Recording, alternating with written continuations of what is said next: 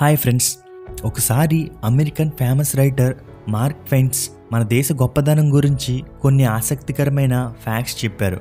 మన భారతదేశం అనేది యావత్ మానవ జాతికే పుట్టినిల్లని ఇక్కడి నుండే వివిధ ప్రాంతాలకి వలస వెళ్ళారని అసలు మాట్లాడడం నేర్చుకున్నదే భారతదేశం దగ్గరని ప్రపంచాన్ని ఉద్దేశిస్తూ ఆయన మాట్లాడారు. చరిత్రకు తల్లి పురాణాలకు అమ్మమ్మ మరియు సాంప్రదాయానికి ముత్తాతని ఆయన కామెంట్ చేశారు. అయితే ఈ వీడియోలో అలాంటి దేశం గురించి దాని గొప్పదనం అలాగే ఆసక్తికరమైన టాప్ టెన్ ఇంట్రెస్టింగ్ ఫ్యాక్ట్స్ గురించి తెలుసుకుందాం. ఇందులో ముందుగా మీకు ఏ ఫ్యాక్ట్స్ తెలుసు అనేది కామెంట్ సెక్షన్లో కామెంట్ చేయండి. అలాగే వీడియోలో ఉన్న ఫ్యాక్ట్స్ మీకు నచ్చినట్లయితే లైక్ బటన్ ద్వారా నాకు తెలియచేయండి. Fact number one. ఈ ప్రపంచంలో అత్యంత పురాతనమైన నగరం వారణాసి. కాశీ లేదా బెనారస్ అని పిలువబడే ఈ వారణాసి అనే నగరం మన దేశంలోనే కాదు. ఈ ప్రపంచంలో అత్యంత పురాతనమైన నగరం. ఈ ప్రదేశం కొన్ని వేల సంవత్సరాల చరిత్రను కలిగి ఉంది. అలాగే అభివృద్ధి చెందుతుంది కూడా. గంగానది ఒడ్డున ఉన్న ఈ వారణాసి ఉత్తరప్రదేశ్లో ఉండే ఒక పవిత్ర నగరం. చావు పుట్టుకలు అనేవి నుండే ప్రారంభమయ్యాయి. ఇది సంస్కృతికి కేంద్ర బిందువు. ఈ వారణాసి అనేది మొదటి పుట్టిన నగరమే కాదు. కల్కి మూవీలో చెప్పినట్టు చివరగా ఉండే నగరం కూడా ఇదేనంట.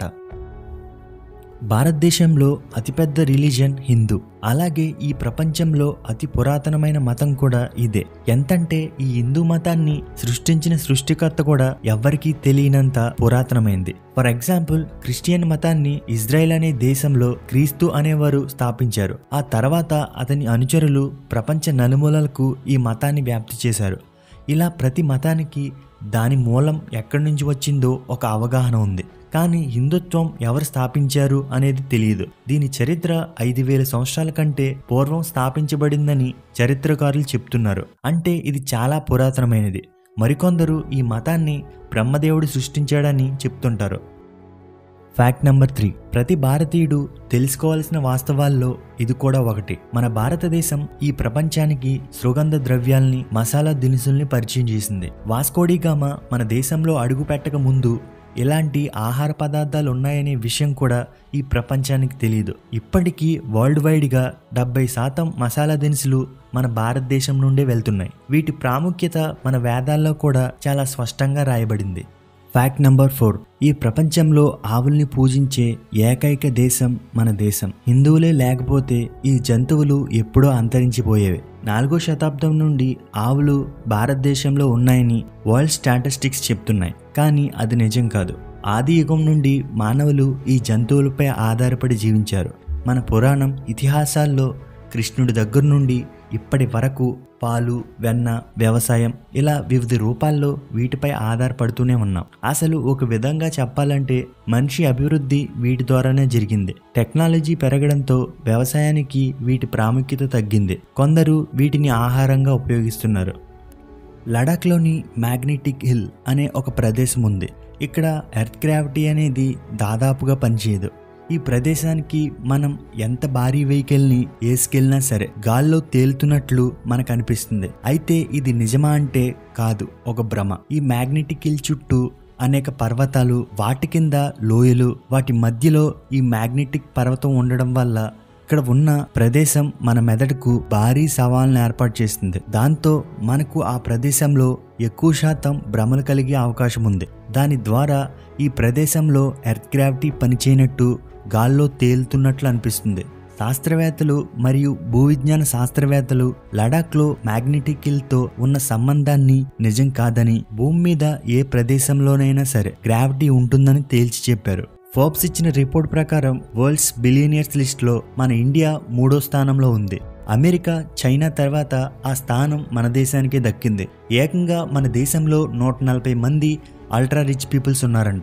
రిచ్ పీపుల్స్ అయితే ఈ లెక్క ఇంకొంచెం ఎక్కువే. కానీ దేశానికి ట్యాక్స్ కట్టే విషయంలో మాత్రం పాపం చాలా పేదవారు. మన దేశంలో నూట ఇరవై కోట్ల మంది ఉంటే అందులో సరిగ్గా ట్యాక్స్ కట్టేది మాత్రం మూడు కోట్ల మందే. ధనవంతుల జాబితాలో మూడో స్థానంలో ఉంటే ఉన్నాం కానీ ట్యాక్స్ కట్టే విషయంలో మాత్రం ఎక్కడో వెనకబడి ఉన్నాం. ఈ ప్రపంచంలో ఎక్కువ శాతం వెజిటేరియన్స్ ఉండేది మన దేశంలోనే.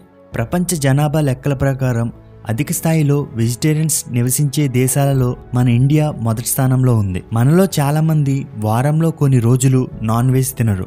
జైన్స్ బౌద్ధులైతే అసలే తినరు. ప్రపంచ ఆహార గొలుసుతో పాటు ఫారెన్ బ్రాండ్స్ అయిన కేఎఫ్సి మెక్డొనాల్డ్స్ ఇచ్చిన రిపోర్ట్స్ ప్రకారం వారి మెనూ ఆర్డర్స్లలో వెజిటేరియన్స్ ఐటమ్స్ ఎక్కువగా ఉంటాయంట. మూడో శతాబ్దం నుండి వెయ్యి సంవత్సరాల వరకు ఈ వరల్డ్లో ఒక్క భారత్ మాత్రమే బిలియన్ డాలర్ విలువ చేసే డైమండ్స్ని మైనింగ్ చేసింది. అలాగే ఈ ప్రపంచానికి వజ్రాల్ని కూడా పరిచయం చేసింది. పద్దెనిమిదో శతాబ్దం వరకు ఏ దేశం కూడా వజ్రాల్ని కనుక్కోలేదు. ఆ తర్వాత బ్రెజిల్లో డైమండ్ మైనింగ్ స్టార్ట్ చేశారు. ఇప్పుడు ఈ రేస్లో మన ఇండియా వెనకబడి ఉంది. హిమాలయాల్లో ఒక రకమైన సరస్సు ఉంది. ఇది సముద్ర మట్టానికి పదహారు వేల ఐదు వందల అడుగుల ఎత్తులో ఉంది. విచిత్రంగా ఈ సరస్సు మొత్తం మానవ పుర్రెలతో ఉంటుంది. అవి ఆ ప్రదేశానికి ఎలా వచ్చాయో ఎవ్వరికీ తెలియదు. పంతొమ్మిది వందల నలభై రెండులో బ్రిటిష్ ఫారెస్ట్ ఆఫీసర్ ఈ ప్రదేశాన్ని కనుక్కున్నాడు.